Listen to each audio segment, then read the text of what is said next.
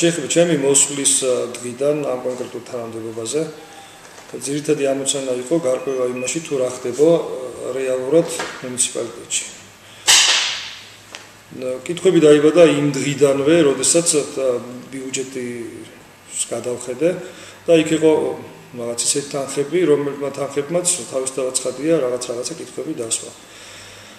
როდესაც მოვითხოვე კონკრეტულად უფრო ჩაუღრმავდი ამ კონკრეტულ თემებს, აღმოჩნდა რაღაც პრივატიზებული ობიექტების სია, რომელსაც ისეთი ფასები ქონდა თავის დავაცხადი არ არის რეალური.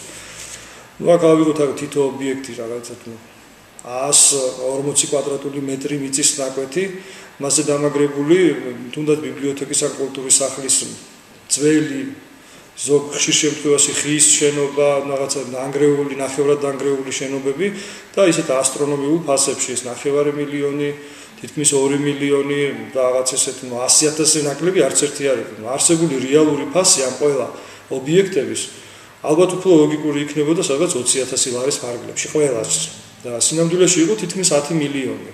არის ახლა ზუსტად გეტყვი 9 მილიონ 814000 ლარი. თავისთავად ხადი ეს ნებისმიერი დილეტანტიც კი მიხვდება რომ აქ რაღაცა არ იყოს უბრალოდ. მე გადავეცი მასალები პროკურატურას. პროკურატურის პრეროგატივაა კონკრეტულად რომელი ადამიანის პასუხისმგებლობის საკითხი დადგეს.